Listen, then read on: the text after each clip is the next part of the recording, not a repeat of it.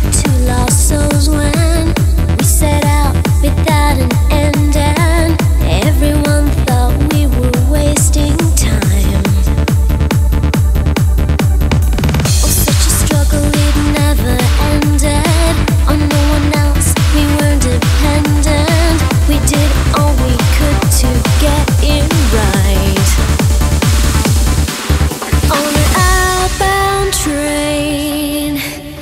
mistakes from yesterday. Ooh, I always wanted to feel this way. On a sky high plane,